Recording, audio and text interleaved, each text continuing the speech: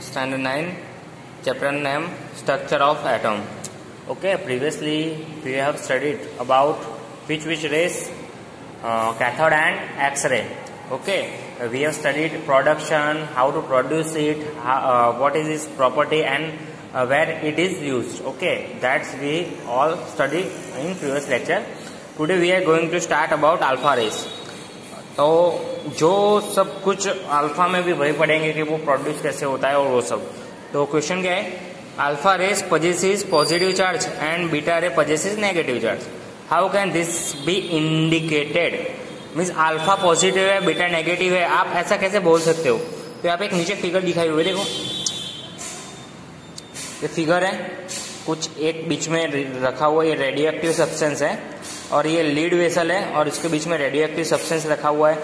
यहाँ पे left side पे देखो अल्फ़ा दिखाया हुआ है, बीच में गामा दिखाया हुआ है और यहाँ पे बीटा दिखाया हुआ है। तो बीटा में पॉजिटिव पॉजिटिव पॉजिटिव है। अल्फ़ा में देखो नेगेटिव नेगेटिव नेगेटिव है। एंड बीच में देखो गामा रे ऊपर जा रहा है तो यहाँ पे ज़ीरो दिखाया हुआ है।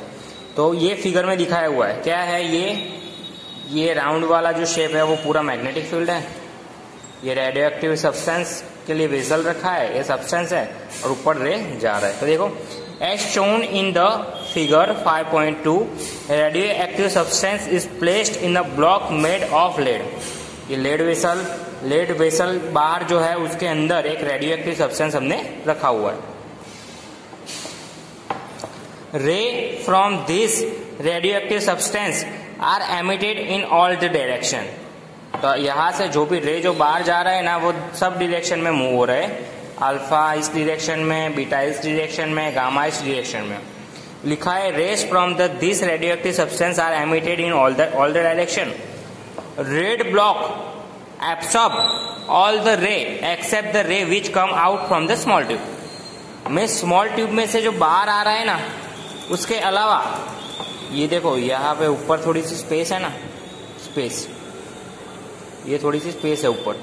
अगर वो स्पेस से ही जो रे जनरेट हो रहे हैं ना, वो बाहर जाएँगे, बाकी देखो यहाँ से ऐसा नहीं कि ऊपर ही जाएँगे। रे, यहाँ सब भी, यहाँ पे यहाँ सब भी प्रोड्यूस हो गई इस डिरेक्शन में, इस डायरेक्शन में, इस यहाँ पे।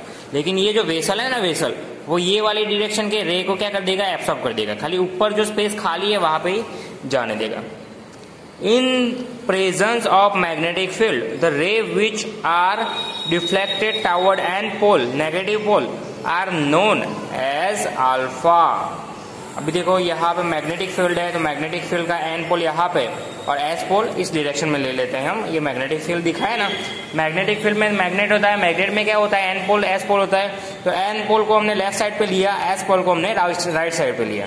तो क्या लिखा है? In the presence of the magnetic field the ray which are deflected toward N pole means negative pole are known as alpha तो यहाँ से जो नेगेटिव पोल के डायरेक्शन में जो जा रहा है मीन्स नेगेटिव है तो इसको हम नॉन कैसे, उसको हम कैसे पहचानते हैं? Alpha as they are reflected toward the north pole they must be positive क्योंकि वो नॉर्थ पोल की डायरेक्शन में जा रहा है मीन्स हमको पता है कि जो अट्रैक्शन जो होता है, वो किसके, किन किन के बीच में होता है? जो ऑपोजिट होता है, उनके बीच में ये अट्रैक्शन होता है। तो यहाँ पे in the presence of the magnetic field the rays which are deflected toward N means negative की डायरेक्शन में जा रहा है तो उनको हम बोलेंगे आल्फा और हमको पता है नेगेटिव नेगेटिव की डायरेक्शन में कौन जाता है? Positive as they are deflected toward the north pole they must be positive वही तो बोला। नेगेटिव पोल की डायरेक्शन में जा रहा है तो नेगेटिव पोल की डायरेक्शन में तभी जाएगा कि अगर वो पॉजिटिव रहेगा तो। The ray deflected toward S means positive pole जो पॉजिटिव पोल की डायरेक्शन यहाँ पे पॉजिटिव पोल है, ये नेगेटिव पोल है, ये पॉजिटिव पोल है। तो जो as in the as the ray deflected toward S pole means positive pole are known as beta.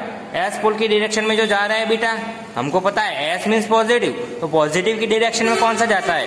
S they reflected toward the S pole they must be negative क्योंकि हमको पता है ये अपने आप तो पॉजिटिव है तो अपने आप पॉजिटिव है तो पॉजिटिव पॉजिटिव के बीच में तो रिपल्सन होता है।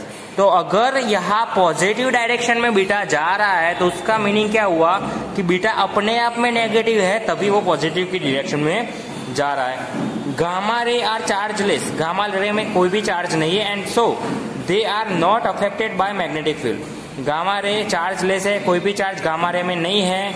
So they are not affected by magnetic field gamma में कोई भी चार्ज नहीं है। इसीलिए वो मैग्नेटिक फ़ील्ड से अफेक्ट नहीं होगा। वो देखो, सीधे का सीधा जा रहा है ना direct therefore they travelled in straight line without getting deflected देखो, ये स्ट्रेट लाइन में जा रहा है, कुछ भी डिफ्लेक्शन उसमें नहीं लग रहा है। फिर से, क्या क्या किया इस प्रोसेस में? एक हमने लेड की वेसल ली। ये लेड की वेसल दिख रही है नीचे। लेड की वेसल ली लेड की वेसल के बीच में हमने रखा रेडियो एक्टिव सब्सटेंस क्या रखा? रेडियो एक्टिव सब्सटेंस अब लेड की वेसल को हमने ऐसे अरेंज किया कि ऊपर की जगह पे स्पेस हमको खाली दिख रही है। देखो, ऊपर स्पेस खाली है। ये ऊपर स्पेस खाली है। तो बस ऊपर की डायरेक्शन में ही रेडियो एक्टिविटी जाएगी, नीचे तो रेडियो एक्टिविटी जाएगी नहीं, क्योंकि नीचे जो भी रे, नीचे जा रहा है ना लेड वेसल हमने ऐसा बनाया हुआ है कि जो नीचे की डायरेक्शन में मीन ऑल द डायरेक्शन में जो भी रेस जाएँगे ना, वो लेड वेसल अपने आप एब्सॉर्ब कर लेगा। लेड वेसल क्या कर लेगा? एब्सॉर्ब कर लेगा। अब वही बात है, वो अब फिर से करते हैं मैग्नेटिक फ़ील्ड यहाँ पे मैग्नेटिक फ़ील्ड क्या है? प्रेजेंस है। अभी इस डायरेक्शन में जो है ना, वो नेगेटिव है मीन्स एन पोल है। इस डायरेक्शन में जो है वो नेगेटिव मीन्स एन पोल है और इस डायरेक्शन में जो है वो पॉजिटिव मीन्स पी पोल है। तो इसका मीनिंग क्या है? ये नेगेटिव है। तो इस डायरेक्शन में हमने देखा कि अल्फ़ा रे जो है ना वो नेगेटिव की डायरेक्शन में जा रहे हैं।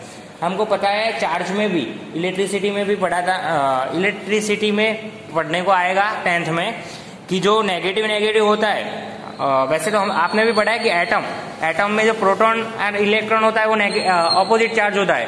तभी तो उन दोनों के अट्रैक्शन फोर्स से ही तो इलेक्ट्रॉन आउटर ऑर्बिट में घूमता रहता है ना। तो ये अल्फ़ा है ये नेगेटिव डायरेक्शन में जा रहा है। तो इसका मीनिंग क्या है? ये नेगेटिव में जा रहा है तो ये अपने आप में कौन सा हो जाएगा? पॉजिटिव और बीटा जो पॉजिटिव में जा रहा है तो वो अपने आप में नेगेटिव हो, जाएगा। इसीलिए हम बता सकते हैं कि अल्फ़ा जो रे, रे है वो अल्फ़ा जो है पॉजिटिव और बीटा नेगेटिव